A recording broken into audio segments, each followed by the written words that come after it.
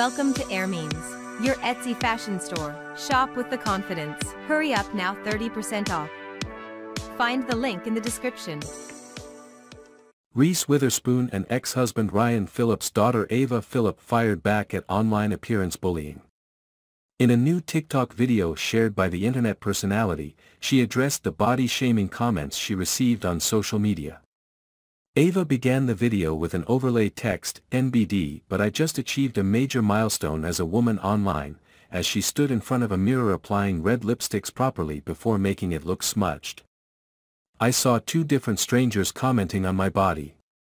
The first said I should get on Oz asterisk pic because I'm too fat. The second accused me of starving myself because I'm too thin. Pointing out the contradiction between these two comments she added, my weight did not change in the time period between their comments. And it wouldn't be any of their business if it did. It's such be asterisk asterisk asterisk asterisk asterisk asterisk asterisk, she remarked. No one deserves to be picked apart for what they look like, said the 24-year-old before continuing, you don't always know what someone's gone through or what they struggle with. But no matter who you are. Your beauty exceeds such superficial measures. Calling out the rude comments, she captioned the video, pretty is as pretty does, babes, and body shaming is simply toxic behavior. Hashtag LoveYoACWear.